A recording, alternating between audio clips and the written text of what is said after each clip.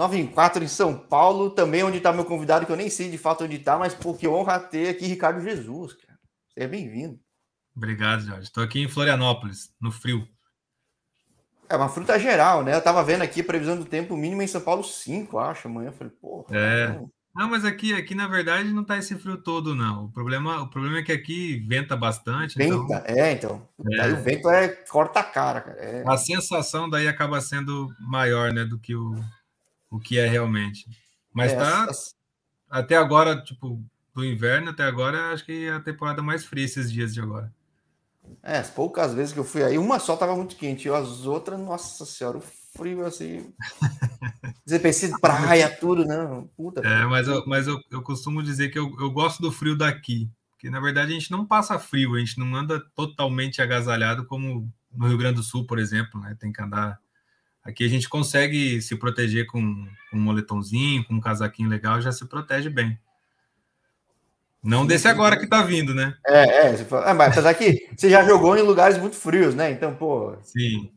Casca grossa, sim, né? Sim, sim. Mas lá a gente não passa frio, né? É, questão de preparo, né? Então, é... é. Caramba, Ricardo, eu. É, assim, eu, eu como fã. Às vezes no Brasil, sei lá, eu, eu me considero um cara que acompanha bastante futebol de um monte de lugar. Né? Talvez até um pouco acima da média, não quer dizer que saiba muito mas sim. E, e, eu lembro de você na ponte, depois na portuguesa. Aí uma passagem, outra aqui. Você sente que quando você sai do Brasil, você fica meio esquecido? Ah, depende, depende um pouco do país que você vai, né? Acho que não, acho que acho que mais, acho que depende mais do time, assim, porque hoje, hoje eu vejo que no Brasil ainda tem, tem muito tem bastante acompanhamento do pessoal lá de fora, né? É, até que hoje em dia tem internet mais. Isso, tem, o mundo mudou tem muita muito, coisa. Mas, por exemplo, hoje quem a gente conhece, quem que joga nos Bigstone, por exemplo? É o Guilherme, é o único brasileiro que tá lá. Né? Mas, tipo, tipo, quem mais sabe disso? A família dele, o empresário. Né? Então, tipo. E eu que fico e... puto que fala, pô, Guilherme, fala no canal, cara. Tu é o único brasileiro aí, caramba. É, então, isso, isso devia ser visto, porque provavelmente ele deve estar indo bem lá no México. Tem muitos jogadores brasileiros no México que, poxa, arrebentam e é um campeonato super difícil, super competitivo. Então, e no Brasil não é lembrado, né? Mas eu acho que realmente deveria ser mais lembrado, mais visto, né? Mais pesquisado, talvez. Porque... Realmente, eu acho que hoje com transmissões ao vivo, tudo mudou muito de cinco anos para cá, né? Porque, na verdade, se você pensar bem, não é fácil ser aceito lá fora, né? Você está indo para você tá indo para uma cultura diferente, você está indo para um para um país assim, um idioma diferente, muitas vezes, então para sua adaptação é muito difícil, né? Às vezes você vai para um lugar que você está achando que está mandando você para a direita, você está correndo para a esquerda, e o treinador às vezes não. Né? Então, quando você consegue ter uma consistência num país né, que não é o seu, acho que isso deve ser muito valorizado aqui no Brasil, né? Assim como quando eles vêm para cá também, eles devem voltar para o país deles, assim como heróis, né? A gente vê né, o tanto de argentino que tem vindo para cá e tem virado ídolos aqui no Brasil, né? É, o legal é que não só mais argentino, né? Pô, você tem histórico de equatoriano, paraguaio, tudo. Só não vejo boliviano ainda, mas o resto, pô. Que é bom, agora, intercâmbio bom. É, talvez tenha agora, né? A gente tem, tem alguns brasileiros que têm ido lá para a Bolívia. É, se eu não me engano, agora acho que o Zago foi, foi para Bolívia também. Sim, virou treinador do Bolívar. É. é, então, então talvez aumente até esse intercâmbio aí com a Bolívia também, né? Sim, mas aqui no canal já falei com bastante gente, fica aberto o convite e gente que passou. na Rússia, cara, eu consegui falar só com um cara que tinha passado em Rússia, né? Hoje em dia não tem tanto brasileiro lá, né? Na minha época tinha muito brasileiro. É, então, não, hoje em dia não. É, acho que o frio, o frio tem assustado um pouco, né? É que é um friozinho um pouco mais gelado que aí. É, mas é como eu te falei, assim, a, gente, a gente realmente a gente, a gente sente esse frio na hora dos treinamentos, né? Que obviamente não tem como se esconder, e na hora do, dos jogos também. Mas tirando esses momentos assim, raramente a gente, a gente passa frio assim na, obviamente também você não vai andar na rua, né? Tipo, menos 20 graus você vai estar na rua. Tomar o picolé vai arrancar a língua, né? Tipo... É. Mas, tipo, dá, dá tranquilamente para sair de casa aí num restaurante, num shopping. Dá tranquilamente para fazer essas coisas, esse tipo de passeio lá. Agora, você se considera um cara muito discreto, Ricardo? Porque, pô, você era um cara de frente tudo. Tem muito cara que aparece bastante, eu sempre te achei super discreto. É, é uma opção? É uma, é, é uma imagem errada que eu tenho de ti? Não, acho que eu sempre fui, sim, bastante discreto. Eu sempre, sempre fui muito tranquilo. Até eu tive, assim, no, no decorrer da minha carreira, na verdade, também os meus empresários eram bastante discretos, né, digamos assim, porque é, sempre existiu a, a, a o canal de divulgação, né? Digamos assim, né? Hoje tem muito mais, hoje tem rede social e tudo uhum. mais, mas sempre existiu o canal é, de divulgação. Você constrói o próprio até, né? Sim. É. é, até você sozinho hoje consegue fazer. Mas eu nunca nunca busquei esse tipo de também de, de, de, de digamos assim, de fama, né? Ou de personagem, assim, pode ser dito, né?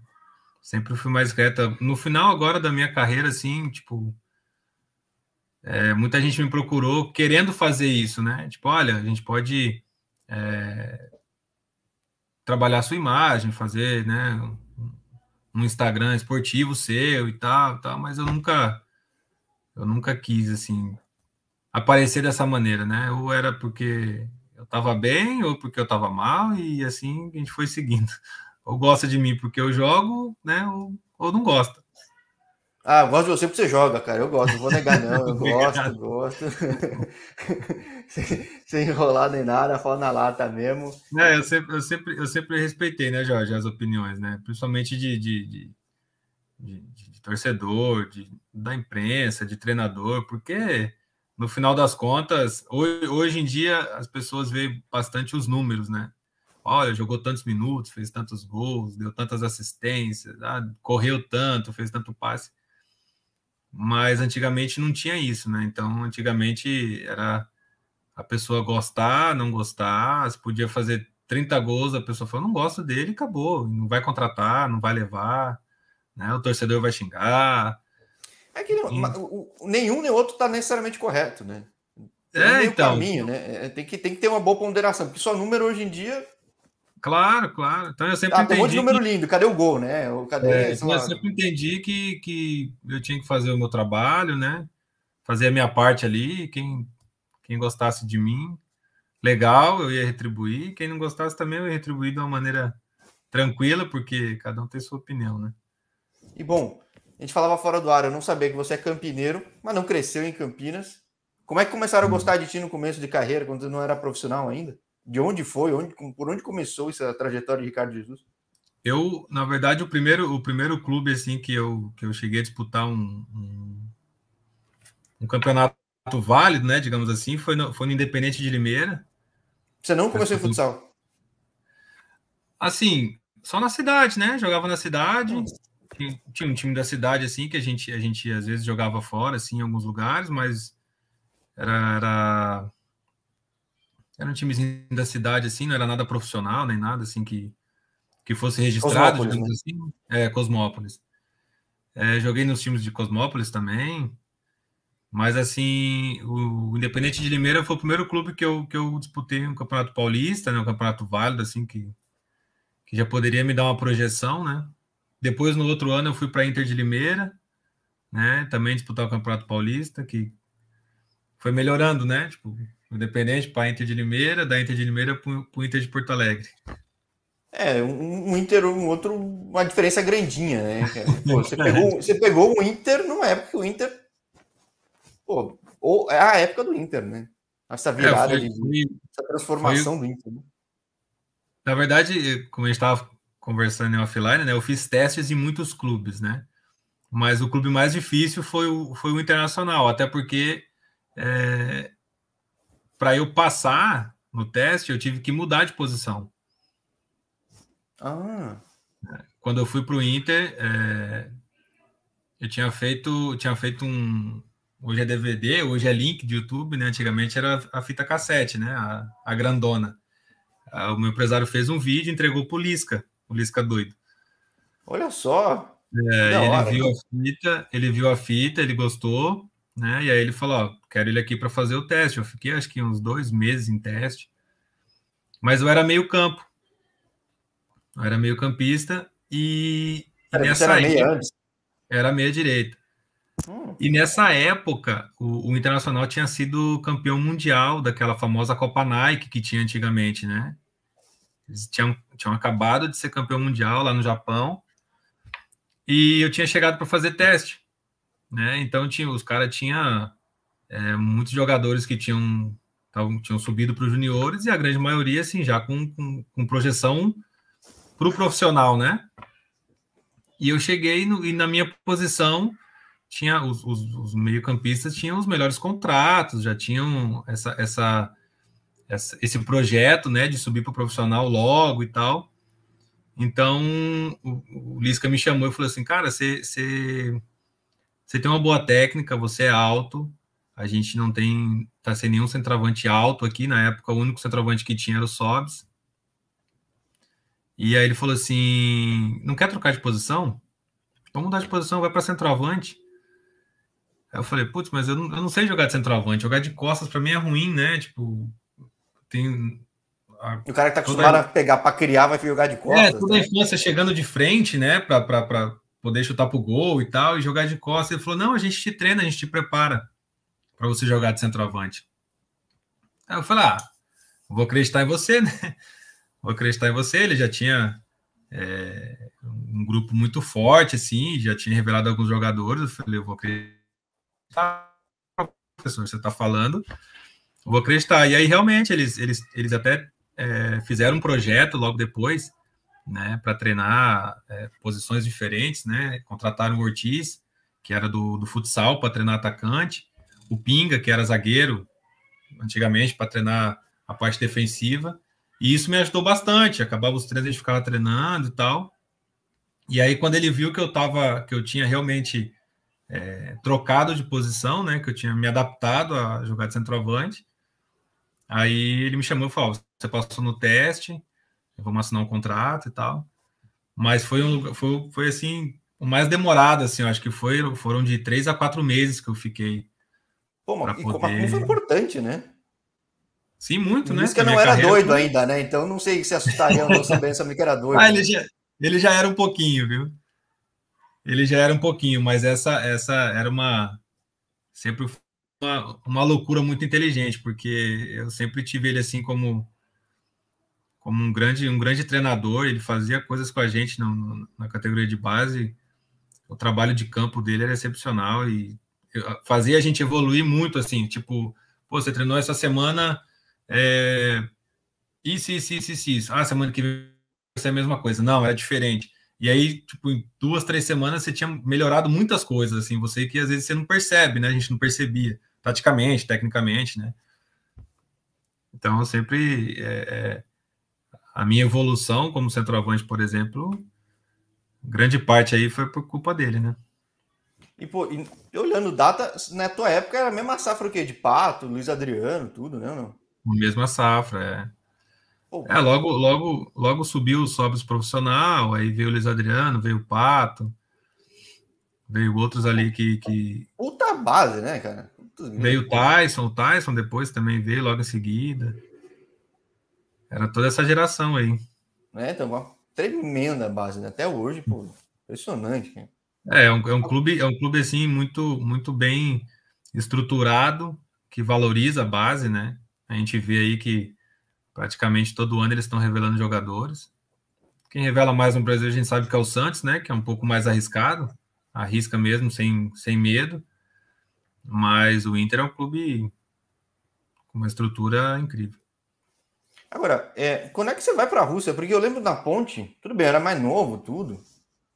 Quando chegou o Ricardo Jesus, eu não sabia que era Ricardo Jesus, você tinha vindo de uhum. fora, né? Como é que você sai do Brasil? Como que foi isso?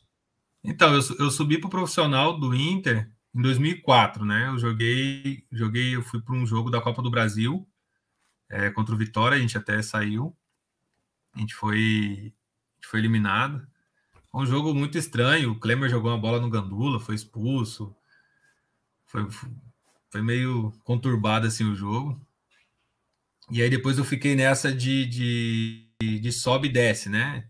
precisavam de alguém, eu subi, e aí depois, logo em seguida, inventaram o time B, né? Um time que ficava ali meio alguns do profissional descia, alguns dos juniores subia e aí faziam, disputavam um campeonato lá, a Série B do Gauchão, se eu não me engano, para dar ritmo, né? Para quando eles precisassem, tá pronto, a gente pega, profissional. E 2006, assim, eu fui, eu fui mais efetivado com o Abel Braga. O Abel me deu mais, mais oportunidades, assim, mas foram também não foram tantas, foi mais no Galchão. O Murici também me subiu alguns jogos para o Galchão de 2005. Mas em 2007, é, a gente disputou o Galchão com um time misto ali, né? Que o pessoal tinha ido para o Mundial.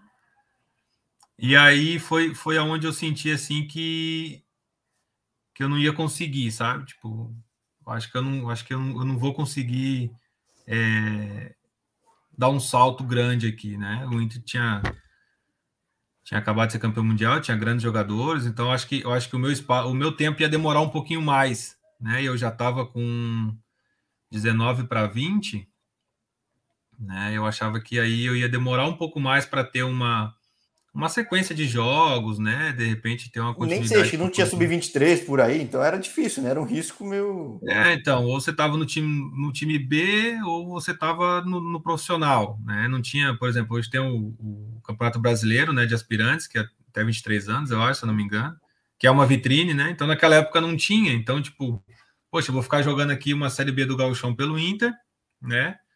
Não vou ser muito visto, eles não divulgavam tanto assim, a gente não podia nem chegar numa final, porque a gente não teria, por exemplo, uma vaga na Copa do Brasil, digamos assim, se fosse campeão. Então a gente estava ali praticamente treinando, ia ficar praticamente treinando o tempo todo. E apareceu a oportunidade de ir para a Rússia. Eu era muito novo, né? Então, tipo, a gente não tem muito medo das coisas. Às vezes não tem, não tem ideia ajuda, né? É, então, aí, tipo, eu, eu, eu, na verdade, eu achava que era um time, e no meio do caminho eu descobri que era outro. Quando eu cheguei lá, eu descobri que eu fui fazer teste. É, e aí, foi até engraçado, uma história engraçada, porque eu cheguei no time, a gente, eles estavam na Turquia fazendo pré-temporada, e, e eu cheguei lá, eles me falaram, ó, oh, você vai fazer um teste, uma semana de teste. Eu falei, não, mas eu, eu, eu vim contratado, né? Eu não ia deixar o Internacional lá, mesmo que, né, não tendo tanta oportunidade. Para estar tá aqui no meu isolado aqui, é, teste, fazer um né? teste. E aí ele falou: não, você vai fazer um teste. E aí, beleza, só que quando começou o teste, digamos assim, ele estava em pré-temporada, então era só físico. Era só físico, a gente só corria, corria, corria, corria, corria. Nos primeiros três dias a gente correu igual uns, uns doidos lá. Eles faziam uns treinos, corre de uma trave para outra, tipo aquele suicídio do, do basquete. E aí corre de um lado para o outro e tal. E num dia que a gente foi fazer um treino assim, de mini, mini campo, assim, digamos assim, cara, eu tava super cansado. E eu lembro que eu não consegui, tipo, não conseguia chutar no gol, assim, cansado, assim, de muito cansado. E aí o treinador chamou o cara que, que tava, que tinha me levado, né? E falou assim: pô, você me mostrou um, um, DVD dele que ele fazia gol, né? Tipo, todos os jogos. E a gente fez um treino aqui, ele não fez nenhum gol. E tinha um português traduzindo, eu perto da mesa, assim, escutando. E aí eles, eles vieram me falar, né? Olha, eles estão querendo baixar, tipo, o seu contrato, porque você não fez gol no treino. Eu falei, mas um treino, de três dias de físico aí, louco, e aí agora tem que fazer um monte de gol e tal, no treino. E aí tinha um amistoso contra um time da Suécia no, no final de semana. Aí eu falei para ele, fala, fala pro treinador, né, me dá uma chance no, no, no amistoso. E aí, se eu não fizer gol, eu volto para casa. Tem problema nenhum, eu volto para casa. E aí ele falou, tá bom. Aí me colocou titular nesse jogo e teve assim, acho que cinco minutos de jogo. Sai um pênalti, o cara colocou a mão na bola e o russo foi e pegou a bola para bater o pênalti, né? E eu fui assim, vim por trás dele assim e dei um, um, um soquinho na bola assim e peguei a bola. Eu falei, não, eu vou bater o pênalti porque eu quero, eu quero ser contratado. Aí, pô, né? É, o cara, o cara já tá contratado, eu quero ser contratado. Cara, esse russo me xingou me xingou tanto e eu não sabia, né? não entendia nada. Ainda né? bem que não estava sabendo o que, que era o é, né? Então... Eu só segurei a bola assim na marca do pênalti, né? Ele me xingando assim, e o juiz falou: Ó, alguém tem que bater. E aí veio o capitão do time, veio e tirou ele. Falou: não, deixa ele bater o pênalti, tirou ele. E aí eu fui e fiz o gol. Aí eu falei, putz, agora eu tô garantido, né? Fiz o gol, agora eu vou assinar o contrato. E aí comecei até, tipo, jogar melhor, né? Aí ganha aquela confiança, aí fiz mais um gol, ganhamos o jogo de 2 a 0 E aí eu assinei contrato com, com, com o Spartak Náutico. E depois, quando eu aprendi a falar russo, eu, eu chamei esse, esse outro menino, né? A gente até virou amigo depois. Expliquei para ele a situação, ele entendeu. Ele falou: Nossa, na hora eu queria realmente. Te pegar. Eu queria pegar, é, eu queria pegar esse gringo e queria arrancar a cabeça fora. Mas hoje eu entendo por que, que foi e tal. E eles. Ele gostava muito porque a gente se deu bem lá e foi um clube também que, que eu ajudei bastante, assim, jogando, né? Tipo, produ, produzindo bastante, né? Então eles também gostaram bastante depois. Foi bem legal.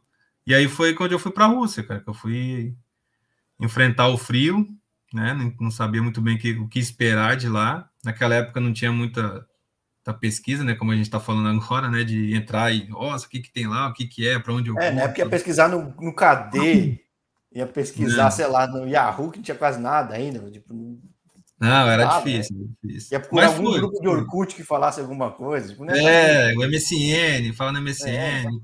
Mas, cara, assim, eu, eu igual a gente estava conversando antes, é, eu acho que o Brasil é, produz muitos jogadores, né?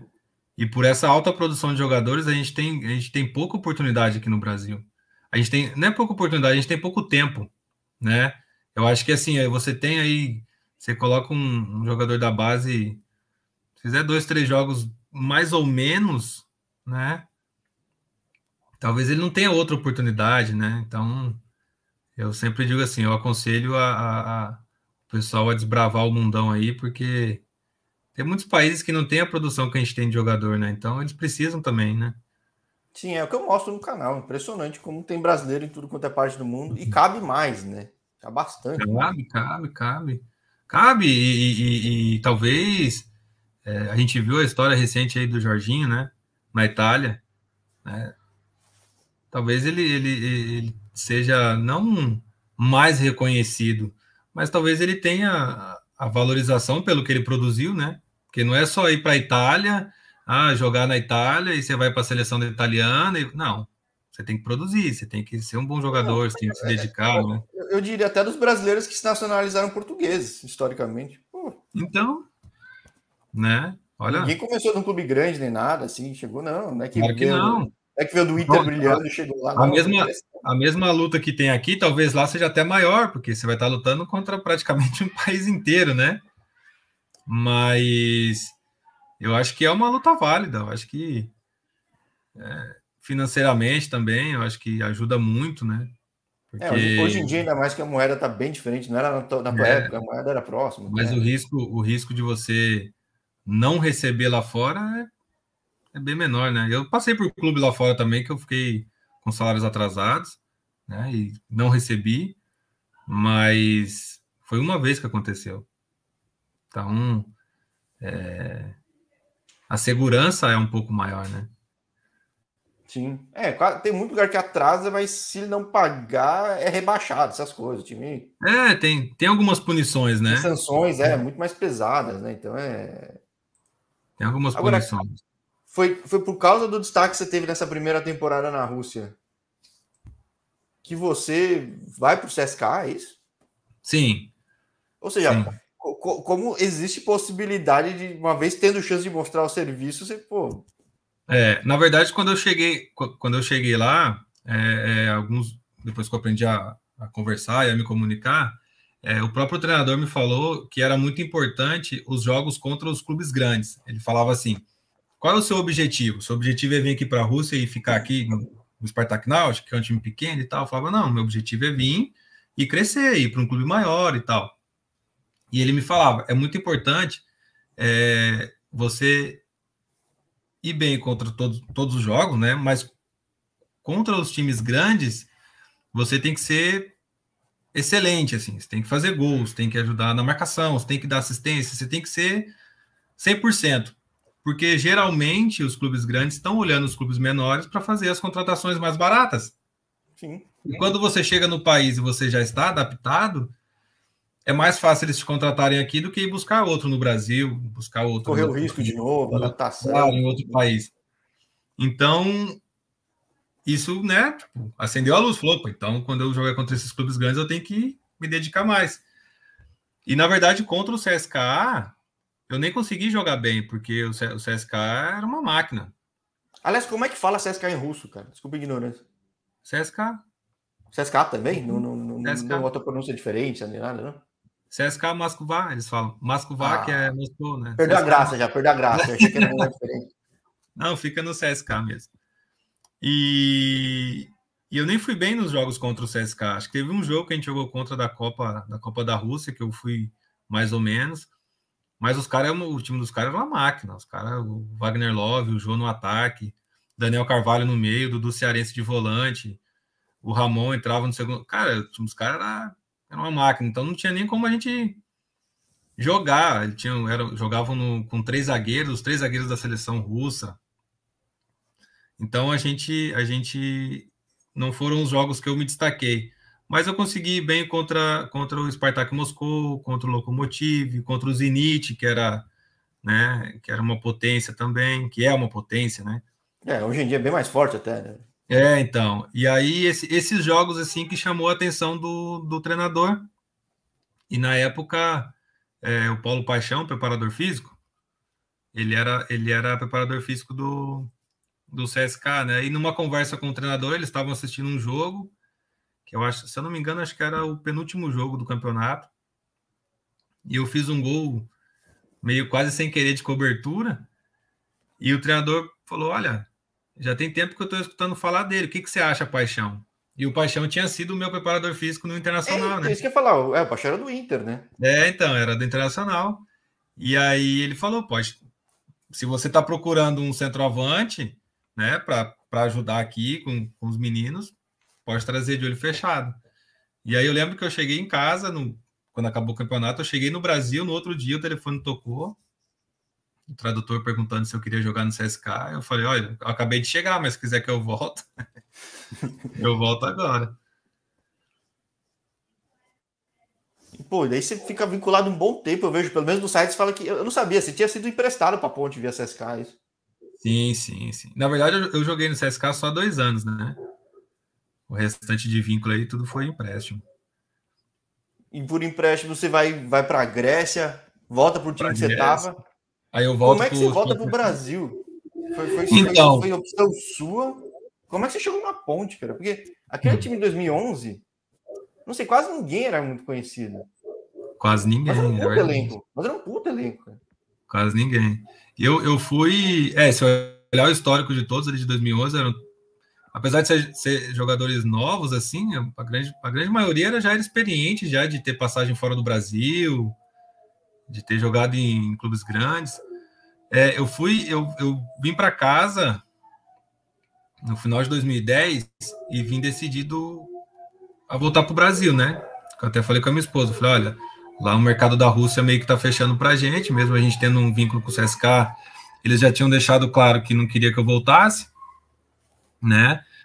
Então, eu falei, acho que é hora da gente poder voltar para o Brasil para poder ser visto, né? O Brasil, independente do time, é vitrine, né? E se eu conseguisse um time bom, assim como a Ponte Preta, uma história enorme, né? Seria melhor ainda, mas a Ponte ainda não estava no meu radar, assim, tipo, na verdade, eu não tinha nenhum time no radar, né? Eu, eu tinha jogado nas mãos do meu empresário.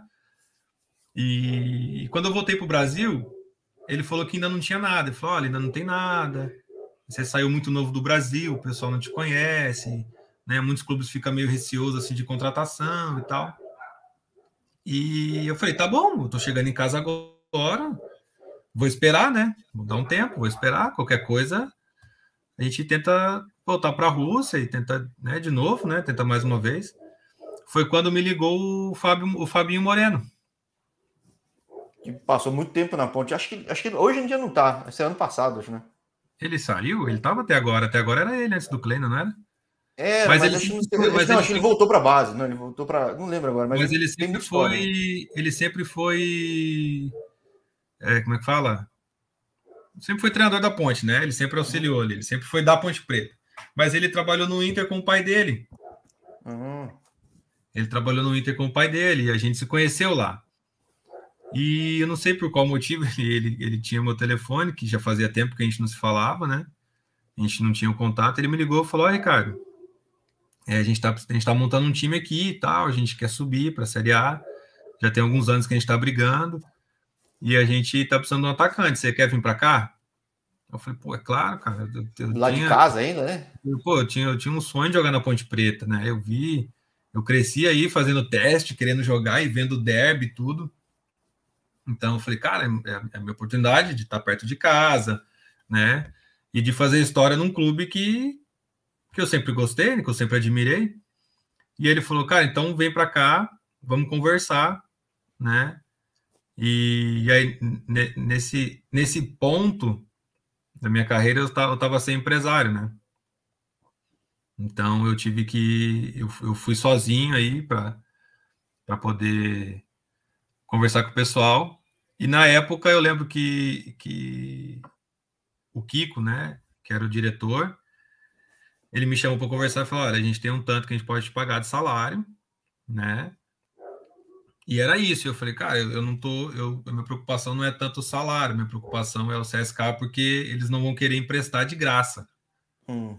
Né? Eles vão querer um valor de empréstimo. E, tipo, e eu não sei quanto vai ser, eu não tenho ideia de quanto eles vão pedir. E aí a gente sentou na mesa lá e começou a conversar, e aí eu, eu falei com o CSK, né? E aí eles queriam na época, eu acho que era 20 mil dólares de empréstimo. E o Kiko falou que não tinha. Falou, Ricardo, a gente não tem esse dinheiro agora, porque a gente contava com acesso ano passado, né? A gente. Já faz alguns anos, já, desde 7, 2007, é, 2008, que, 2009, 2010. Se eu, engano, se eu não me engano, em 2010. Desculpa, Jorge. Se eu não me engano, em 2010, é, a Ponte tinha virado o primeiro turno em primeiro lugar, né? Então, pois é, demorou a... para o acesso. E, e, e 11, eu digo, eu como torcedor em 11, eu falo, puta, mas agora não sobe. Tem esse treinador que ninguém conhece, um elenco que ninguém conhece. É, então, aí ele, aí ele me chamou e falou assim, Ricardo, eu não sei se a gente vai conseguir, tá? A gente não tem o dinheiro, a gente não tem. Ele mostrou até no computador, assim, uma lista lá que ele falou, cara, a gente não tem. E aí eu falei, pô, Kiko, então eu não sei o que, que eu posso fazer, porque os russos são difíceis, cara, de negócio. E aí ele falou assim: ah, vai para casa, eu vou conversar com o pessoal aqui e aí a gente vai se falando. Eu falei, beleza. Aí no outro dia ele ligou e falou: consegui. Só que eu tenho que pagar em duas vezes. Eu falei, ah, eu acho que não vai ter problema. E aí a gente conversou e eles aceitaram, né? Os russos aceitaram. Falei, não, tudo bem, não tem problema. A gente recebeu em duas vezes. E aí fechou. E aí começou a, a carreira na macaca. E, pô, Aquele ano foi. É, eu, eu, lembro que era um time que podia ter conseguido acesso muito antes no final do brasileiro.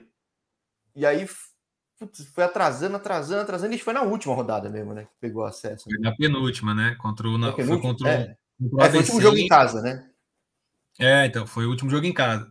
Ah, eu acho que eu acho que foi. Acho que a gente Não, foi, foi ficando... tão bem, é que o time foi tão bem, tão bem, tão bem, e com uma regularidade. É, é. Você era uma dessas caras de regularidade. Você, o, o Gilson, não tô falando besteira. Tinha. Aliás, é, é, esse é o negócio. Naquele, naquele time tinha Paulo, dois caras que passaram na, na, na, na Chapecoense que teve acidente, né? Sim, sim. Foi o Josimar e o Gil. Josimar. É, o Josimar também era, era, era constante ali. Ele... Sim, sim. O Josimar 2011 foi um motorzinho, cara. Um negócio. Foi, era, era fenômeno. Agora, e aí gente, é que a gente, eu acho que a gente ficou um pouco ansioso, até por esse motivo que você falou. A gente começou tão bem, se eu não me engano, no, no, nos cinco ou seis primeiros jogos que a gente teve em casa, a gente fazia gol antes dos cinco minutos do primeiro tempo, a gente fazia gol em todos os jogos em casa. Então, tipo, claro, a gente também queria né, virar o, o, o turno já com acesso garantido, né? Mas acho que depois também, claro que, como você falou, como a maioria das pessoas não conhecia os jogadores, os outros clubes também não conheciam. Aí foram conhecendo. Aí foram conhecendo, então, tipo, foi ficando mais difícil, né? Opa, olha, aquele ali é desse jeito, aquele joga daquele jeito, já fez gol assim, já fez gol assado. Então também foi começando a ficar mais difícil para a gente também, né? Sim, o que não quer significa que também não foi, tipo, no, no, fim, apesar de ter aquela pressão no final, meu time subiu muito bem. Sim, não subiu sim, em quarto, sim. né? Mas subiu é, mas bem. eu lembro, eu lembro, não, acho que foi terceira, né? Terceira? Acho que foi terceira. Primeiro foi a portuguesa, depois foi o Náutico e depois foi a gente. Mas eu lembro que o Náutico tava, o Náutico tava em quarto ou quinto, se eu não me engano, em quarto.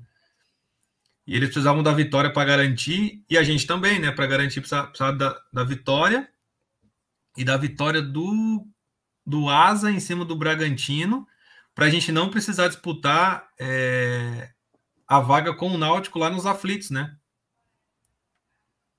Porque era e aí um jogo... seria outra batalha dos aflitos aí, é, desnecessária, né? Então é... é outra desnecessária, porque realmente o Náutico estava muito bem naquele ano também, né? Tinha bons jogadores, o Chiesa também estava fazendo gol a rodo. Então a gente também queria evitar esse, essa decisão lá, porque não seria fácil, a gente sabia que não seria fácil, né? E... Bom, mas deu certo antes, ótimo, né? Então foi um jogo tranquilo. 2011, eu tenho duas lembranças muito fortes. Que eu posso ter até errado, porque passou o tempo, já são 10 anos, mas uhum. um derby que a torcida até botou fogo no estádio. Foi. Coisa de louco. Aí você viu que era o derby mesmo, você pode ver um derby com fogo e tudo, né? É. Até botaram então, fogo. Eu, tinha, a, eu tava do lado lá, eu tava na grade, assim, tipo... A história, a história que eu tinha dos derbys, eu nunca fui, né? Meu pai nunca deixou eu ir, porque é, sempre era perigoso, né? Entre aspas, né? Mas a história que eu sempre tive nos derbys é que sempre, sempre eram jogos difíceis, né? Mas o que a gente sempre escutou era da briga fora do campo, fora, né? É. Para campo, né? A gente nunca. Eu não me lembro assim de ter estado falando de uma briga dos jogadores no derby, assim. Mas a gente sempre escutou dessa briga fora. E nesse dia, quando a gente foi pro, a gente foi pro intervalo e quando a gente voltou, fogo, fumaça, né? Tipo, um clima meio, meio estranho, assim. A gente estava ganhando o jogo, né? E, e, depois que a gente foi saber, depois, né? Que a gente foi saber que, que tinha sido a torcida do Guarani por uma provocação do, do, do radialista lá. É, né, que a gente até foi... tomou multa, foi até penalizada, né? É, a gente foi, que a gente foi entender, né? Depois a gente teve que jogar fora, eu acho. Depois a gente foi lá para Araraquara. E que a gente foi entender, mas foi assim, foi um susto, né? E aí você acaba entrando, você não sabe meio que, que qual é a reação, né? A gente não sabia se era briga entre os torcedores, né? O que estava é, acontecendo. É, fogo, você não, você, é você não espera no estádio, né? Fogo, é, não, ambulância, é você... bombeiro, é, zona. É quando você vê fumaça, você imagina fogos, né? De artifício. Mas aí o cheiro que tava, né? Tipo, de, de, de queimado mesmo, assim, causou estranheza, né? Mas foi bom, a gente, a gente conseguiu ganhar em casa. Sim, eu tenho foco fazia... nesse jogo, foi uma felicidade. É, foi o primeiro tempo segurou, porque o segundo foi, foi uma briga. O segundo tempo foi briga. É. Não, foi, foi, foi, foi feio. A Mas outra lembrança que. É os, os dois times estavam meio assim. Sem entender né, o que estava acontecendo, né? Tipo, ah, vamos jogar, vamos, mas, tipo, o que, está acontecendo, né? Foi estranho. A outra que é bizarra, cara. É, no jogo do acesso, eu, eu acordei no jogo do acesso, estava combinado que eu sou de São Paulo. Eu, eu falo que o Ibama me protege, que eu sou um paulistano ponte pretano. Né, é uma espécie rara.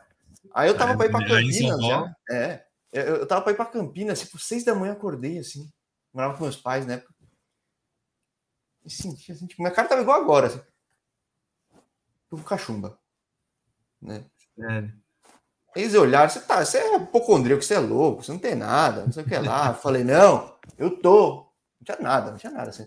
Tô, tô. Daí nem quiseram me levar no hospital, seis da manhã, por Deus, os homens, né, meus pais. Então, não tem nada, não tem nada. Eu falei, ah, peguei e fui pro hospital. Cheguei no hospital, aí fui. Cheguei lá falei, tô com cachumba. Os caras do hospital começaram a rir, né? Me deixaram na espera, assim. Sério, eu cheguei sete horas da manhã no hospital, saí meio-dia. Fizeram exame lá, porque encheu o saco. Meio-dia os caras falaram, Caramba, japonês! Você tem visão aí, você tá com cachumba mesmo, cara. Caraca. E, e aí não pude ir no jogo. Mas, tipo, eu, eu falei, se eu tivesse podido ir pro jogo, ia ter feito estrago, cara. Mas. Nossa senhora. E, e nem show, nem que me chama. Tudo. É, não, eu vi, mas fiquei sofrendo em casa. Falei, meu Deus, perdi o acesso, não sei o que lá. Vendo lá da, da, da cama, assim, falei, ah", todo mundo. Cara, eu não, eu, eu não sabia, eu não sabia que na, que na minha cidade tinha tantos ponte pretanos assim. É, depois, depois que eu fui jogar na Ponte Preta e, e, depois do acesso, né?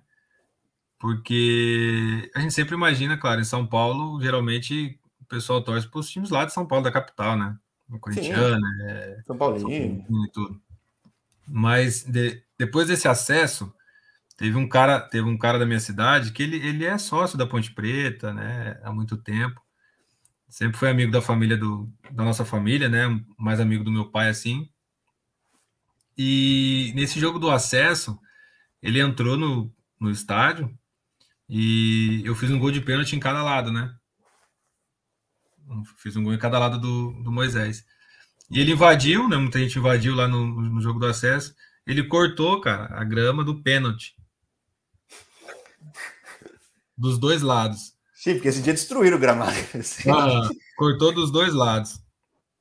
E ele e, e, e depois ele me convidou para o aniversário da mãe dele, que é a Ponte Pretana também fanática, e fez eu plantar a grama no jardim da casa dele. da casa dela, né? Da casa da, da mãe dela, que é da mãe dele, que é em Campinas. E eu falei, cara, eu, eu não tinha noção né, de, que, de, de, de, de que tinham Ponte Pretanos tão fiéis assim, né? A Ponte Preta somos na minha poucos, cidade. mas somos fanáticos. Né? É, não, é muito legal, cara, no, no jogo do acesso. Foi, foi o único clube. Eu tive boas passagens em outros clubes também, mas foi o único clube que a torcida cantava música quando fazia gol, né? No dia do, no, no dia do acesso foi muito engraçado, cara. O pessoal é, é, invadiu e queria pegar a camiseta, queria pegar. Não, a, a eu vendo no vídeo, su, sumiu os jogadores, engoliram todo mundo, assim, você não via mais ah, eu, nada. Eu, eu, passava, eu, passava, uma fita no meião, assim, né, para segurar o meião, para não cair a caneleira. E aí o, o, o, rapaz puxava o meião, cara, e, a, e não saía, né? Claro, não ia sair nunca, tava com os paradrapos colado. E eu falava assim, calma, você... tudo, né, e ele, eu falava assim, calma, você, você vai arrancar o meu pé fora. Ele fala, posso? Posso arrancar o pé também? Mas não, ali aí aí não tem mais gol, né? E aí tirei ali, eu lembro que eu saí só de sunga lá e, cara, foi muito legal. Eu tinha uma caneleira, a minha caneleira, eu, claro que eu não, nunca vou achar com quem tá, né? Nem minha caneleira nem minha chuteira. Mas a minha caneleira fazia 10 anos que eu tinha ela. Era como se fosse um, um talismã. É, mas é que era a ocasião, né? Eu sofrendo é, casa. Tá ah, meu Deus, não, tá muito bem guardado não subiu, não subiu lá, e agora quando subiu eu não tô. Né? Não, tá história. muito bem guardado. Eu conto a história porque eu acho legal, cara, porque imagina é a lembrança que cada um tem da, daquele momento, né? Sim, sem dúvida, sem dúvida. E bom. Mas é uma pena, foi, foi uma festa bonita. Sim, né? E depois, eu lembro quando você foi para Lusa, tudo, eu fiquei chateado, tudo, até amigos meus da portuguesa vão ver depois. Mas teve uma passagem muito boa de Brasil, né? Tô vendo aqui depois do Atlético Goianiense, pô, você fez mais jogo até que na ponte, tipo, é, Valeu é, muito a pena na, na, na, na, na ponte foi uma pena mesmo. Eu acho que eles já tinham, antes de acabar o campeonato da Série B, eles já estavam palavrados com o Roger, para o Roger voltar. Então a gente não teve nem, nem conversa assim, tipo, olha, Ricardo, a gente quer que você fique, mas a gente vai contratar outro centroavante e é, tal. A gente está programando a segunda das cinco, seis voltas do Roger para cá, entendeu? Então é... é... então, mas aí, aí eu nem, acho que nem, eu não lembro se era o Roger, até foi o Leandrão depois que foi do ABC também. Então, para mim, a minha única chateação que eu tive com a Ponte foi nesse ponto da gente nem poder nem ter conversado em relação a uma. A uma prefiro nem saber agora, para sofrer é, mais. Então, a, um, a, uma renovação, porque, obviamente, eu, eu queria muito ter jogado uma Série A com a Ponte Preta. Eu acho que eu ia ter eu ia ter ajudado muito e eu acho que a Ponte Preta também ia ter me, ter me ajudado muito assim em relação à minha carreira, né? Porque é, já estava funcionando, né? Já estava funcionando. E... positivamente o termo até, né? Então... E eu voltando para o Brasil, eu precisava de uma estabilidade, assim, né? Então eu acho que naquele momento a Ponte era esse time que podia me dar essa estabilidade, né?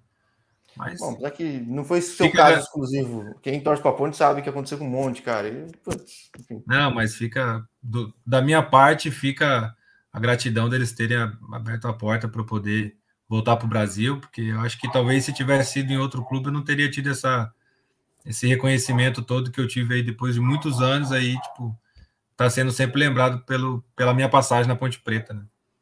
Sim. Agora, como é que você foi pro México? Cara. Porque não tem muito brasileiro no México, né? Eu, sempre, eu, eu acabei é, de falar com então, um cara da Atlético São Luís, um dos então, poucos brasileiros lá. Eu falei. O meu empresário na época era, era o Marcelo Dian, que jogou no Corinthians. O zagueiro. Sim. É, então. E ele tinha, ele já tinha um jogador no, no Querétaro, que era o William, que veio para o São Paulo agora. né? E aí ele, ele viu uma oportunidade de, de, de mandar meu material. Falou, oh, vou mandar o seu material para lá, né? Pode ser que, que aconteça. E, foi um, e, e também foi um caso interessante porque é, eles mandaram meu DVD e aí eles mostraram meu DVD para o treinador. Só que, obviamente, o treinador devia receber DVD todo dia, né? E desses DVDs que ele recebeu, ele gostou de um colombiano, se eu não me engano, ou um equatoriano. Ricardo Jesus. É, mas não era o, esse Jesus, era outro Jesus que ele queria. Só que o, o, o, presidente do clube, que era o. Putz, era, era um goleiro famoso lá do. Não é o Jorge Campos, era outro. Mas já não vou saber, porque eu só lembro de Jorge Campos. É, não, não, eu, eu ia te falar o nome dele, mas agora eu esqueci o nome dele. Ele viu o DVD e ele falou: não, eu quero o Ricardo. E mandou eu ir, né? Ligou pro Marcelo, falou: ó, vamos conversar e tal. Mandei ele vir para cá para a gente resolver é, é, a contratação e tal. E aí, beleza, eu fui todo feliz, né? Vamos pro México. Tinha falado com o William algumas vezes. O William falou: cara, é um clube mediano, mas é um clube que está crescendo e tal, paga em dia, né? Tem uma certa estrutura, né? A cidade é legal, é bacana, é perto da cidade do México. Aí fala, ah, vamos, né? Você com a minha esposa, vamos, país novo, né? O idioma parecido, então acho que clima também parecido, vai ser bom. Cara, eu cheguei lá, é, eu fui me apresentar no clube, coloquei a roupa para treinar e tal.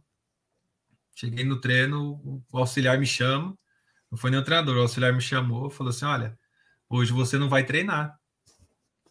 Pô, acabei de chegar e não vou treinar, né? Como não? Eu já tinha, eu já tinha até assinado o contrato, tá? Eu tinha assinado, porque o dia que eu cheguei no hotel, acho que no outro dia, eu acho, a gente assinou o contrato. E aí ele falou: não, você não vai treinar. Eu falei, mas por que não, né? O presidente falou que eu podia vir para o campo já e tal. Ele falou: não, o treinador falou que você não vai treinar. Então você se troca e vai lá para a sala que vocês vão conversar depois. Falei, ah, beleza. E aí troquei já meio assim, chateado, né? Pô, os caras me chamaram, vim até aqui para eu chegar aqui e falar que não, que não vou treinar, né? E aí o treinador me contou essa história. O treinador falou bem assim: falou, olha, é... na verdade você não era minha escolha, a minha escolha era um colombiano, é... mas o presidente te contratou, né? Eu tô aqui para receber ordens, então já que você está aqui, vamos trabalhar. Eu falei: é só isso que eu quero, é só trabalhar, né? Tipo, se você não quiser me colocar para jogar, amém, mas eu vim aqui para trabalhar. E tudo bem. E aí ele falou, então beleza. E aí no primeiro jogo, com antes dos nove minutos, eu já fiz um gol de cabeça. Aí, tipo, ele já teve que aceitar, né? Falou, agora tem que aceitar sim ou sim, né? É, pô, é, é, eu sempre fui muito curioso futebol mexicano, porque ultimamente tem tido mais zagueiro. Uhum. Como é que é o atacante lá? Tudo bem, você jogou no time menor, assim como o Tijuana também, era outro time em projeção ainda. É, é, o Tijuana é novo, né? Na época que eu joguei no Tijuana, acho que eles tinham sete anos de vida, oito anos. É, então, time em projeção, até o símbolo é, é moderninho, o cachorro, tudo lá. É, não, você tem que ver o estágio deles é. Estavam construindo ainda, estavam terminando a construção, mas o estádio deles é quase aqueles estádios de, de futebol americano. Tem, tem. O gramado é artificial, né? Ou não? É artificial. É. Tem camarote com festa, assim, que é tipo balada no dia do jogo, com, com jacuzzi, é coisa de outro mundo. Sim, eu vejo o Campeonato Mexicano, eu gosto. É, eles tinham, eles tinham é sintético, né? Mas eles tinham a, em, atrás do estádio um gramado de campo de, de grama normal que é espetacular para quando a gente fosse jogar fora, a gente treinava a semana só no campo natural. Então a gente não sentia tanto assim, né? É, isso era uma curiosidade que eu tinha, porque eu via quando os times vão visitar o Tijuana, é difícil, é mas necessariamente porque o Tijuana sair, ou seja, então estava preparado mesmo. É, mas por incrível que pareça, o, na época que eu joguei no CSK, o estágio do CSK também era sintético. Mas também, é um bom, mas era o CSKA também, né? Aí... É, mas era um clube, um clube, super grande que não tinha estádio, né? A gente jogava no estádio do antigo Torpedo, era o nome do time. Ué, mas eu não sei, eu já vi o jogo do Torpedo da segunda divisão, é pequeno o estádio. É, mas é, é, é, é, porque. Não, é porque o. Ele joga no parque, se não me engano, né? Luziniki, eu acho que era o, era o nome do, do estádio. Era um estádio meio que eles meio que tiraram o torpedo, falou torpedo você espera aí, que agora você está na segunda, terceira divisão, e os clubes grandes vão meio que usar, meio que alugar. Ah, tá. É, porque então, o Torpedo tá usando um campo bem pequenininho. É, o CSK jogava lá, o Spartak Moscou jogava lá também. E aí agora eles têm o estádio deles, né? Eu acho que já cada um já fez o seu estádio, mas era Sim. o estádio, era o maior estádio que tinha lá, era o eu acho que era. Ah, tá. Mas era grama, era grama sintética.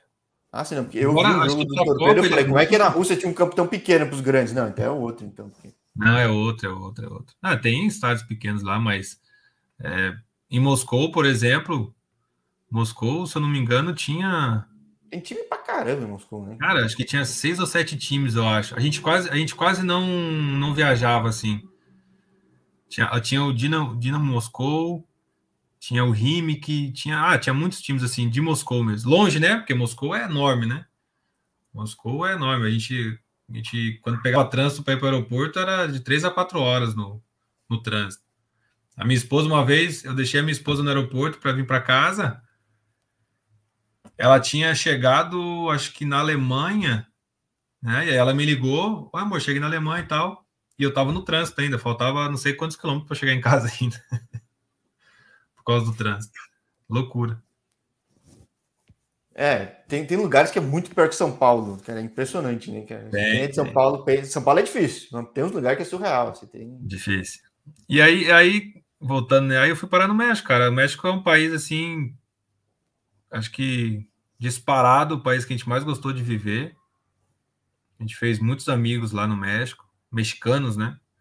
Brasileiros também, mas tipo, uh, foi o primeiro país que a gente conseguiu fazer amizade com mexicanos, assim, com pessoas locais. Foi muito legal. Tijuana também foi foi muito bacana, era, era fronteira ali com os Estados Unidos, então a gente tinha essa, essa possibilidade de estar tá atravessando, estar tá voltando, né? Foi muito bacana. O México acho que é um lugar assim que a gente a gente está sempre querendo voltar, né? Quando a gente gosta de algum lugar, então a gente quer voltar algum dia para lá para passear de novo. Só que eu vejo que você passa no Fortaleza e depois passagem de Fortaleza é curta, né? Ou, tô, curta, tô, E aí você vai, cara, que, que... já vi um monte de gente passar do Honda e eu já falei com muita gente aqui e nunca perguntei o que, que era o Taia Honda, porque não existe mais, né? Não, não existe. Então, o, o, o Rian, né, que é o nosso, o nosso contato, amigo em né? comum, né? o nosso contato, ele me ligou uma, um dia e falou: Cara, eu tenho, tenho um negócio para você na, na Tailândia. E aí? Aí, se eu não me engano, eu tava 31 anos, né? E aí eu sentei com a minha esposa e conversei, olha, é um país longe, eu não, tenho a mínima ideia de como de como funciona lá, mas, né, a, a, o que a gente tem aqui paga em dia, né, é um bom dinheiro, a gente vai receber em dólar, né, que, que vai ser bom, vamos tentar, né, de repente a gente consegue terminar a carreira lá ou prolongar, né, até prolongar, porque como é um país que, que, que o futebol não é tão conhecido assim, de repente a gente consegue, como outros jogadores estão lá e. Diogo, eu vou falar com ele no sábado aí, tá há muitos anos, né? É, o Diogo tá lá há muitos anos, então, tipo, foi o que eu pensei, né? Vamos lá tentar fazer uma carreira lá. E até o meu, o meu, o meu vizinho, Rafael Coelho, jogava lá, e aí a gente, ele até é, a gente conversou sobre a Tailândia também, né? Ele falou que era muito bom e tal. Então eu falei, ah, vamos lá. E fui, cara. O Rian me passou algumas, tinha me passado algumas informações, né? Sobre o Honda, da época que ele jogou lá. E aí a gente foi fazer essa aventura, cara. O Honda, o Honda, não sei se ele, se ele chegou a te contar, o Honda era um clube empresa, né? Sim, tá, tá, o nome justifica e, e passou é. muita gente e, e, acabou faz o quê? Dois anos. Eu nunca perguntei para ninguém por que, que acabou, o que aconteceu, porque não, na verdade, na, na verdade, é, é, tão empresa que o nosso centro de treinamento era dentro da empresa. Ah, que da hora!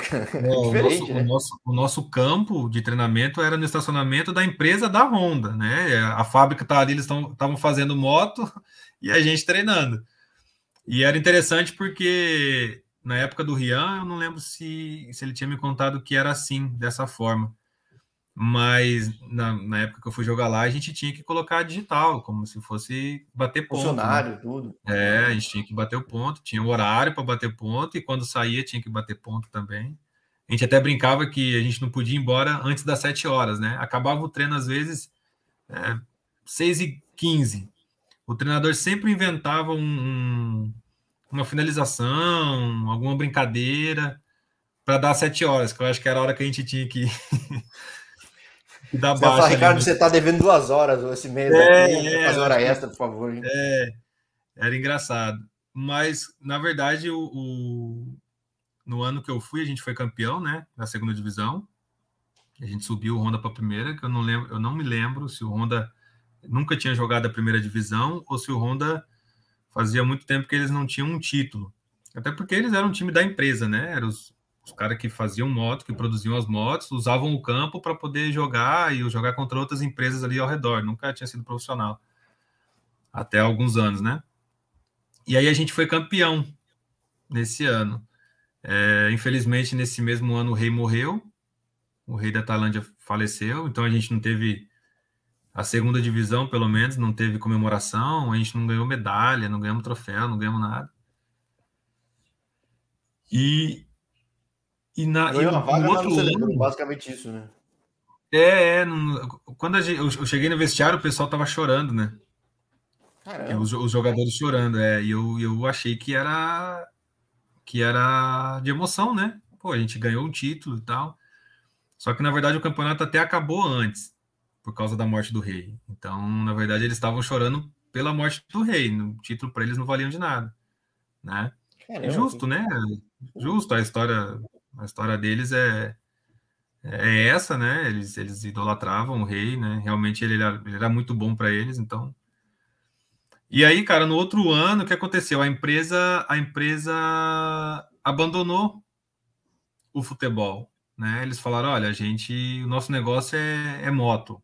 Então a gente, a gente não tem muito muita conectividade com o futebol, né? Então vamos, a gente vai seguir na moto. E aí dois irmãos lá da empresa, né, japoneses, eu acho, não, são tailandeses. Eles falam: "Não, então a gente assume, né? Vamos tentar prolongar aí um pouco mais a história do do Tai Honda aí no, no futebol". E aí eu acho que já, já, no, já no nosso ano eles tentaram assim muitas mudanças assim com, com marketing, né? Bastante e tal, mas acho que depois acabou não dando certo, né? No final das contas é uma empresa, e aí se você não tem o, o, o retorno, né? Respaldo, né? né? É, não tem o retorno, acaba, acaba quebrando, né? É, é, é, diferente, né? Que aqui não tem muito caso assim, que nem eu falei com um jogador em Laos que tinha o Lau Toyota também, que mandava muito e sumiu. A gente teve que rebatizar Sumiu. tudo e mudou, mas tipo, assim, acabou. É, então, eu, eu lembro agora, há pouco tempo atrás, eles é, vieram com essa história no Brasil para fazer clube empresa, né? Eu acho é, que no Brasil é, talvez. Né? Eu não sei se. Mas ele não é. Não é de um é. dono, né?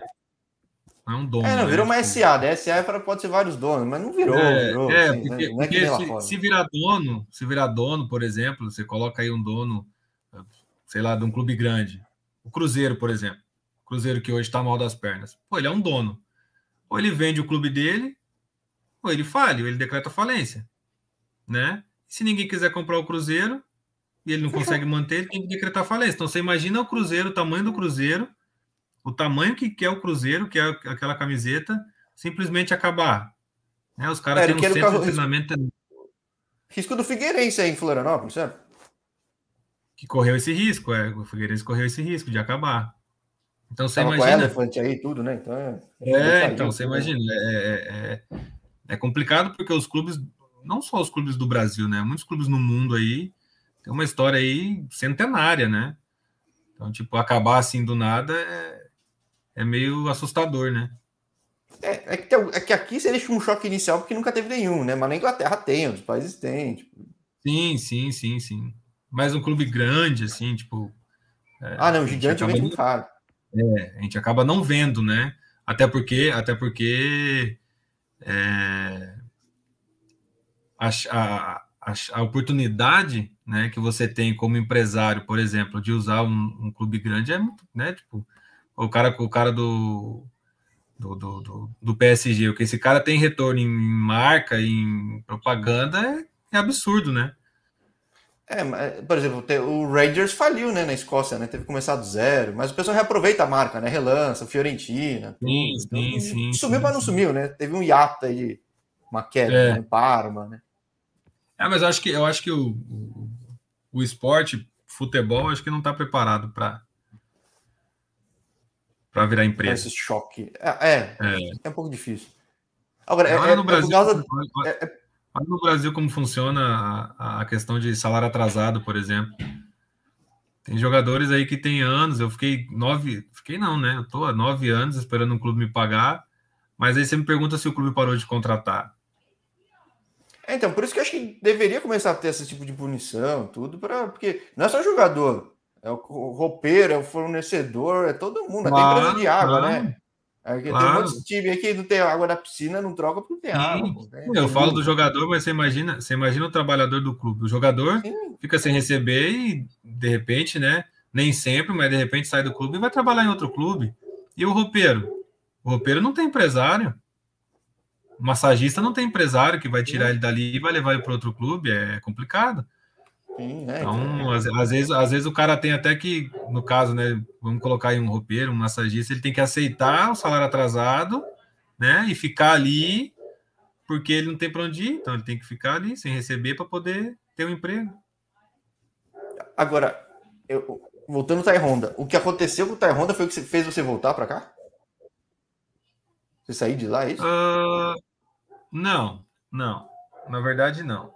Na verdade, a gente, eu, eu achava que, pelos anos que eu fiz lá no Honda, né, é, eu achava que eu teria alguma proposta melhor, assim, de um clube não grande assim, mas eu achava que eu, que eu teria condições de ficar em algum clube lá para poder de uma série A, né, para manter assim, ficar jogando uma série A de lá, né? E aí eu não tive não tive proposta nenhuma assim que a gente achou que poderia ser legal para a gente poder continuar lá. Teve, teve um fato também que a minha, a minha filha sofreu um acidente na escola, e aí a gente ficou assim um pouco um pouco receoso, assim, não sei, a gente levou um choque, assim. Aí foi tudo na mesma nada, época, né? Aí, um. É, tudo na mesma época e ah, e aí teve, te, teve a questão de, de, a questão do imposto também que eles queriam que o, que o Honda queria me cobrar o imposto que, que eu não tinha acordado, a gente tinha um valor no contrato de 5% e eles queriam me cobrar 35%, né? E aí, tipo, nenhum clube cobrava isso, né? Mas mesmo se tivesse no contrato, eu pagaria, né, Jorge? Tá no contrato? Se tiver no contrato que eu tenho que pagar 90% de, de imposto e eu aceitar, receber 10%, eu tô aceitando. Só que eu tinha, a gente, no contrato tinha, era 5% de imposto, já retido na fonte, né? Então, é, então não é nem Era problema teu, né? É. Então eles queriam jogar isso pra gente. Eles fizeram, eles fizeram uma pressão psicológica, levaram o pessoal do governo é, para conversar com a gente, que a gente ia entrar numa lista negra do país, que nem mais poder entrar é, no país. Esse é, o, esse é, o, primeiro caso que me encontra de uns problemas assim em Tailândia, porque hoje em dia virou um mar de brasileiro, né, cara? É, é sim, sim, sim. É, então, mas é, mas é que era, era um clube foi um clube que aconteceu desse, de, desses irmãos né, tomarem conta, e eu acho que eles queriam, de repente, é, reaver um pouco do dinheiro que, que tinha sido gasto, ou de repente essa era uma parte do imposto que eles eram obrigados a pagar, né? E, e aí pegar, falou, descontar, fazer é, não, é. vou pagar, vou jogar isso daí para eles, né? Porque a maioria dos casos que eu escuto lá, que geralmente funciona assim com países que têm acordo com o Brasil, né? De você pagar o imposto do país lá, não paga no Brasil, mas tipo, é o acordo que você tem com o país lá, entendeu? Se você fizer é, um acordo com o clube e falar assim, olha só, eu não quero pagar imposto nenhum, eu vim para cá, não quero pagar imposto. E o clube falar, tudo bem, você não vai pagar, quem paga é o clube, o clube paga, tá no contrato, o clube paga. E geralmente é assim que acontece, os clubes fazem isso, né? Para te dar assim um, um, um, contrato líquido, né? Digamos assim, ó, você, tem, você vai receber isso daqui e é isso daqui que você recebe, pronto. E aí, aí juntou todas essas coisas assim, essa pressão psicológica que eles estavam fazendo, né? E, e aí a gente até pensou assim, putz, se a gente, de repente, se a gente for para um outro clube, a gente talvez tenha que pagar essa multa, né, para poder ficar no, no país, e realmente aconteceu. Um companheiro, verdade, nosso, é, então... um companheiro nosso voltou para lá, né, e eles prenderam, prenderam eles assim, não prenderam, levaram para cadeia, né, mas eles não, pod eles não podiam mais sair do país sem pagar a multa. Então, tipo. Pô, sabe, puta desestímulo, né, cara? É, é, aí a gente falou assim: ah, quer saber? Vamos para casa, vamos, vamos, vamos repensar, né? O que, que a gente tem, o que, que a gente não tem, vamos ver se se é a oportunidade de continuar, de não. E aí, bom, daí você volta para o Brasil, né, cara? Você... É, aí eu, aí eu fui pro, eu fui pro, pros Emirados lá, né, que eu te contei que foi rapidinho. Sim, é, né? uma passagem um rápida. É, vai pro Ju. Um mesinho. E aí eu vim pro Juventude, que aí também era era era uma esperança de poder é, voltar para o Brasil e poder continuar um pouco mais a carreira no Brasil, né? E aí não foi tão. Le... Começou bem, começamos bem assim, mas depois foi só terror, foi só pesadelo. A gente não conseguia jogar, a gente não conseguia é, render, né? O, o, grupo, o grupo em si, né? A gente não conseguiu render, a gente acabou caindo para a Série C. É isso que eu ia perguntar, não lembro se era o ano que já estava nasceu ou se era da queda, foi da queda, então. Foi na queda, a gente caiu para. Eu, sa... eu, eu, eu, saí antes, né? Eles acabaram fazendo.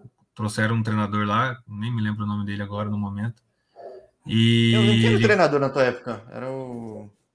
Quando eu cheguei era o Zago. Quem me levou foi o Zago. Era o Zago? É, mas é, depois teve um outro que passou pelo Brasil também, que é bem conhecido no Sul. Eu lembro que o time jogava, eu... jogava, mas não saiu, não saiu gol, cara. O Julinho. Julinho Camargo. É, então, não sei, mas não jogava mal, uma coisa não saía. Tipo, é. Foi o Julinho Camargo. A gente empatou bastante, né? A gente não conseguia. Então, a gente não conseguia. A gente não conseguia, assim, criar. Criar muitas chances de gol, assim, sabe? A gente, a gente dependia de uma bola parada, de dar certo. A gente tinha o Fred que, que fazia gol de falta, então a gente ficava esperando sair uma falta para ver se ele fazia gol. O time não, não conseguia criar tanto assim para fazer muitos gols, né? Mas o time realmente, o time conseguia até jogar. Mas faltava essa, essa, esse volume de jogo, assim, para a gente poder fazer os gols e ganhar, né? E aí chegou esse outro treinador, acho que era o, era o Vink, Luiz Carlos, é, Carlos Vink, acho que é, não sei. E aí ele resolveu fazer uma limpa. E aí escolheu, escolheu algumas cabeças ali para usar de exemplo, digamos assim, para ver se dava uma, uma mexida no grupo, né? E aí, e aí eu saí antes, aí eu vim para casa. Você estava preparado já para parar, pendurar a chuteira? Como é que foi pendurar? Então, não. Aqui, você pendurou na Tombense, é isso? Eu nem sabia que tinha passado na Tombense. Isso, isso. Não, na verdade, na verdade eu tinha, eu e minha esposa, a gente tinha um projeto de, um projeto assim, né? Planos de parar com 35 anos, né? Tipo, ah, vamos jogar ah, até você, os 35. Você jogou até quando? 34? 34. 34. Ah. É, mas acho que, acho que assim, a gente, a gente poderia ter, se não fosse esse, esses casos acontecendo, né, na verdade, porque é, acho que quando vai, vai desgastando, né, tipo, é, é, e aí nosso, o nosso último, o nosso último, assim, risco que a gente queria correr, né, a gente falou, ah, vamos pro Tom Benz, era um time de série C, mas é tem um projeto legal, né? Tipo, eles têm, eles têm uma certa estrutura. A cidade é muito pequena, tem acho que. Sim, é no meio do nada. O tombo é longe pra caramba é, para tomar o tombo, mas. Para sair é, é difícil, para jogar fora é difícil, né? Mas eles têm até uma estrutura legal lá, um centro Eu acho que é time para subir para B, junto com o Ituano, assim, tipo, é. É, mas eles têm um projeto legal. Se eles subirem para a Série B, eles vão mudar a sede deles, né? Acho que eles vão até para o Rio de Janeiro, se eu não me engano que é ali é, perto. também tem a gestão de empresa, tudo, então é. Tipo, sim, sim, sim. Vai não, longe, é, assim, longe. a organização deles é, é tremenda, tá? Apesar de ser um clube pequeno, o, o estádio, o gramado deles, assim, é excepcional, não tem uma falha, é, é muito bonito. O centro de treinamento também, o gramado é todo tratado, é bem bacana, assim, o, o clube em si. Mas aí aconteceu que eu fui com, com, com é, com essa esperança, né, de, de, jogar, de dar continuidade, né, e eu tinha essa promessa do, até do, do, presidente, promessa não, mas ele falou assim, olha, Ricardo, eu tô te contratando para ser, para fazer parte ali da espinha, né, eu vou contratar um zagueiro experiente, vou contratar um, um, um volante experiente, e eu queria você, né, de centroavante experiente para poder. E o restante é só a molecada da empresa, né? Que eles. Da, da empresa do, do, do Uran, dele, né? Que, do, né? do, é, do Lani também, que ele que é o presidente, entendeu? Para poder a gente fazer um ano legal. Beleza, eu fui, né? Aceitei e fui. Só que aí chegou primeiro jogo, o, o Ricardo Drubs que já falou que queria é, queria colocar um menino mais novo, né? Que, que queria um pouco mais de, de intensidade no ataque e tal. Não tem problema, eu nunca eu nunca briguei com o treinador, nunca né, discuti, não, eu tenho que jogar, não sei o quê, então não vai ser agora, né? Só que aí também aí acabou o estadual, a gente também tinha o plano de ficar lá o ano todo. Minha esposa foi com meu filho pequeno, né? A minha filha já estava grandinha, mas o meu filho era recém-nascido, né? Então a gente a gente sofreu um pouquinho com a estrutura da cidade em si para poder, né, dar esse esse esse respaldo também para a família. E aí quando acabou o estadual, eles falaram: "Ah, a gente é, quer fazer um acordo com você". Aí foi aquele balde de água fria, né? A gente fez um baita de um, de um esforço para estar tá lá, e aí de repente eles não vão cumprir o contrato. Aí no Juventude eles já não tinham cumprido o contrato. Né? Aí na esse Tailândia tinha esse negócio. Sequência, do... sequência, sequência. É, tinha esse negócio do, do imposto, então aí foi aquilo que eu te falei. A gente chegou em casa, conversou, né? a minha esposa é, falou que a gente poderia estar tá pendurando a chuteira, né? Que a gente administrando o que a gente conquistou durante a carreira, né, bem administradinho, com a cabeça, com os pés no chão, a gente vai ter aí uma, uma estrutura legal para a família, né? Pô, não querendo puxar o saco, mas já puxando. Você sabe que tem espaço para você tecnicamente no Brasil, né? É que minha lembrança de ti é de muito tempo atrás, mas se eu tivesse. Se eu tivesse dedicação, tipo, pô, encaixa, se, eu tivesse, se eu tivesse treinando, meu pai sempre. Meu pai fala, cara, se eu falar com o pai todo dia, todo dia ele fala assim, filho, eu falei com não sei quem aqui com um amigo meu, e eles estão perguntando por que, que você não volta para a ponte. Eu falei, poxa, pai, eu, eu já tô sem treinar profissionalmente já há dois anos, né? Então eu, eu tenho que explicar para ele, né? Porque pai é, é sonha, a gente sonha com os nossos filhos, né? E meu pai ainda acaba, continua sonhando comigo. E eu falo, não é tão simples assim, né? Tem, se fosse só ir lá e jogar, seria super legal, mas tipo, já não, já, já não, já não faz parte, né? Já não faz é, parte, já, tem muita coisa agora, que. Agora é um pouco difícil. Mas, do jeito que a ponte tá mal, tá reformulando, eu não duvidaria. Claro, tem que estar tá na tua cabeça, mas é improvável, mas poderia, sei lá. É, tipo, é... Ah, é, acho que. Acho que tem um ciclo, né? Tem um ciclo. Acho que o, o, é, até, é até, até bacana ser lembrado na ponte por 2011, né? Pelo que eu fiz lá em 2011, porque é, seria cruel agora eu voltar para uma Ponte Preta, por exemplo, e, e não conseguir é, render, né? O, o, esperado e aí ser apagado, né? O que foi feito em 2011, né? Eu acho é, que isso, isso aconteceu voltou, bastante, né, Jorge? Renatinho voltou e a torcida fritou o Renatinho, né? Tipo, o cara tinha história. Né? Então... Cara, e ele foi, ele foi, ele foi excepcional lá em 2011, Sim. né? Ele, ele era, ele, ele, eu acho que disparado, eu acho que ele foi o que mais me deu assistências, assim. Tinha motorzinho, cara. Enquanto o Josimar destruía tudo no meio, o é. Renatinho passava açucarado, entendeu? Então... É, é verdade, é verdade. O próprio, o, próprio, o próprio gol que eu fiz no derby, ele driblou meio mundo, Ainda tentou fazer o gol, não deu, e a bola sobrou para mim ali no, no, no, dentro da pequena área. Mas ele era, ele era muito liso. Ainda é. Ainda é. Mas não, é putz, quando a coisa tá é. mal, tudo fica difícil, né? Então, é, difícil, né? Fica mais difícil. Mas eu conversei, eu conversei com o Nicolas, que ele é do ele é do canal do Gols da Macaca no Instagram. E a gente estava conversando, a gente estava conversando sobre, sobre isso e ele, ele também Ponte Pretano, preocupado, né, com a Ponte Preta, né?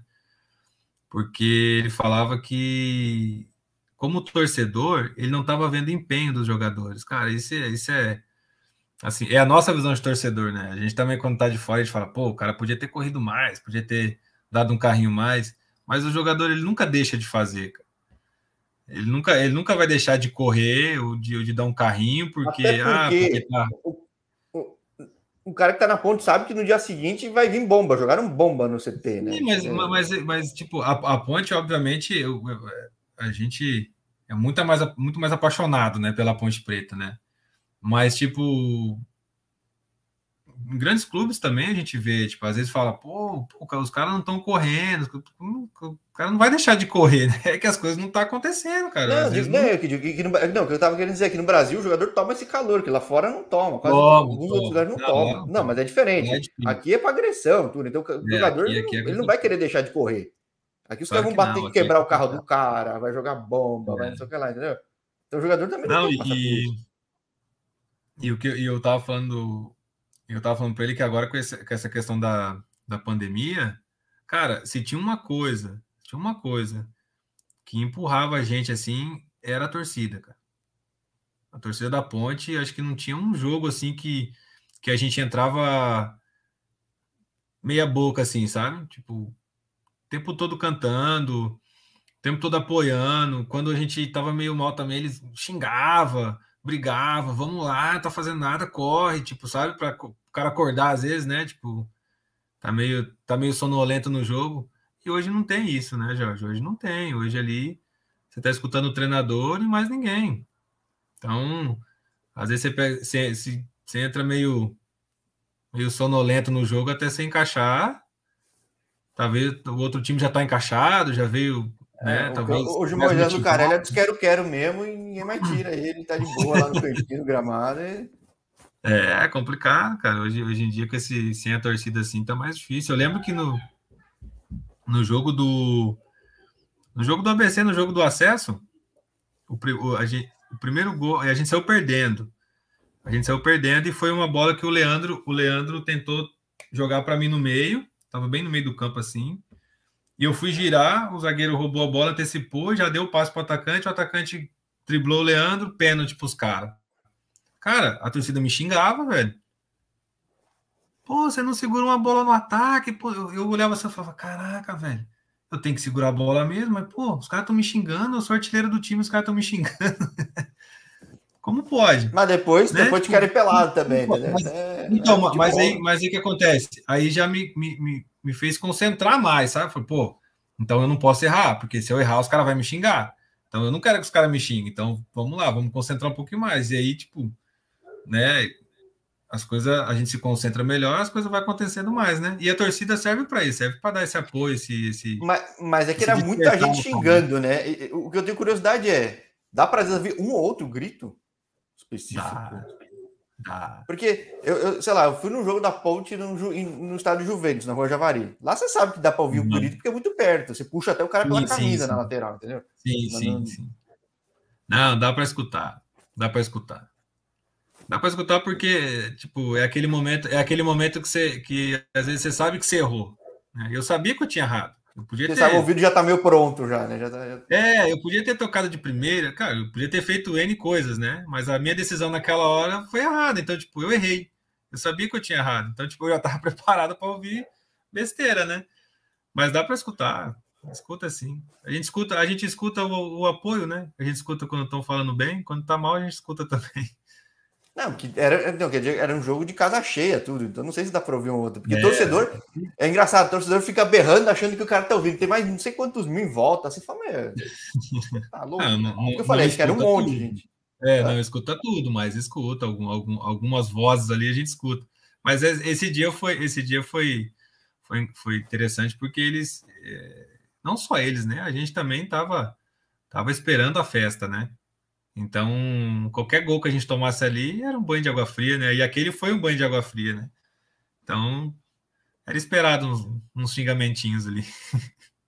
Não, é porque o Ponte Pretano já fica pensando, ai meu Deus, mais uma vez, meu, mais uma, porque é o Ponte Pretano é, um sujeito um traumatizado, né? Esse é a real. Ah, mais um então, ano, é... mais um ano. É. Mas não foi, esse ano não foi, esse ano foi de alegria. Bom, então, não vou te ver em campo, então, com acesso, porque desististe, né? Mas, enfim. Mas pelo menos apareceu no meu canal, né? Por uma questão da vida aqui, te trouxe aqui, tô felizão. Claro, tá certo. Eu tô feliz também de ter, Eu sempre gosto de falar com, com Ponte Pretanos e falar da Ponte Preta, né? É muito. Como eu te falei, foi um ano muito feliz, né? Por ser da região, por, por, por ter sonhado em jogar ali na Ponte Preta, por ter sonhado em jogar derbys, né? Que era. Que eu sempre vi que era, era, era, um, é, um, é o maior clássico do, do interior de São Paulo, do Brasil.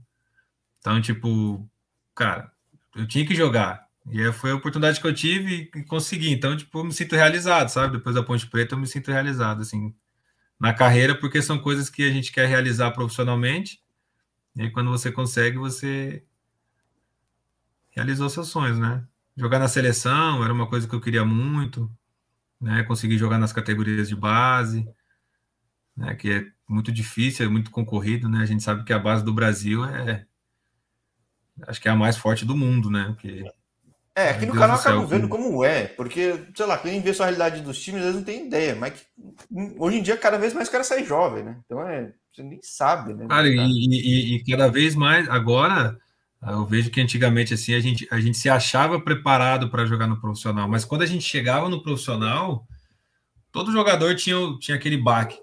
Pô, tô no profissional, tipo, pô, olha, 30 mil, 40 mil no, no estádio, tipo, tem esse baque. Hoje eu sinto que os jogadores estão mais preparados, assim, sabe? Eu acho que eles já chegam, como, como tem, tem esse, tem o brasileiro aspirante, né? Que também tem torcida, né? Tem, tem outros, tem Libertadores agora, se eu não me engano. É, e outra, nada, nada tem uma cornetada em tempo real praticamente agora também. Então, é. o que ilude também então, pressiona tipo, tem, o cara também, né? Então tem o pessoal que narra, tem o pessoal que entrevista, tem. Então, tipo, você basicamente você está vivendo na base hoje o que você vai viver no, no profissional. Não né, nas, nas mesmas proporções, mas uma preparação, né? Então, quando você chega é. no profissional, você vê que muitos os, os meninos do Santos, por exemplo, os é, tá 16 anos atropelando lá, né? É. Você chega a jogo de 16 anos, você, poxa, fazendo coisa que a grande maioria de crianças de 16 anos ainda está sonhando em jogar futebol, né? Então eu, vejo é. uma preparação melhor hoje. E obviamente você canal, também vê o, eu, eu sempre falo da Flá TV. Pega um jogo sub-18 aí, tem 20 mil pessoas vendo online. Fala, que coisa é essa, cara? Tipo... Então, cara, eu tenho um amigo, eu tenho um amigo que, que, que eu joguei com ele no Tai Honda, que é o Rafinha, que ele é ele, ele tá no The Strongers agora. Da Bolívia também, né? Tentei já falar com ele também. Tô tentando todo mundo, viu, cara? Tô, tô tentando todo mundo. Da Bolívia. Ele, ele é gente boa. Esse daí tem história. E, cara, ele, ele falava para mim do, do Flamengo, né? Eu até assustei quando ele chegou no Honda. Eu falei, cara, você jogou no Flamengo, você vai jogar aqui no Pai Honda, né? Tipo, totalmente desconhecido. Tipo, geralmente quem.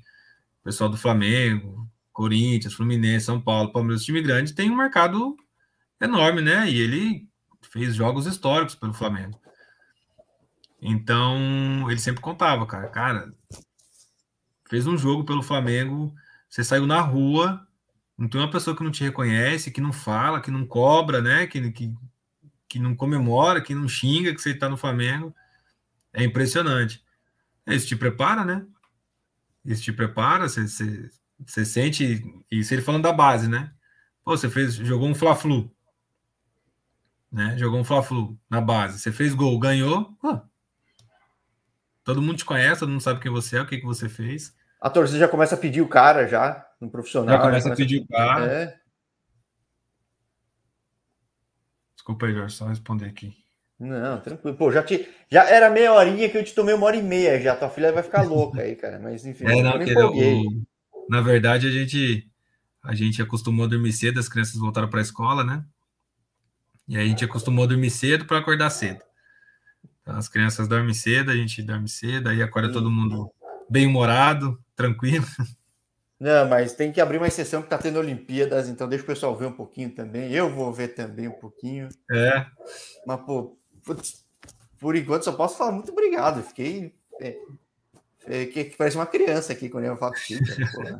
ah, eu que agradeço, Jorge. Mas fica, fica, fica o contato, cara. Sempre que você precisar, quiser quiser conversar, a gente, a gente programa ali como a gente fez, conversa, marca um horário direitinho, a gente está sempre aí à disposição. Maravilha, maravilha. Digo mesmo, você tem meu contato também.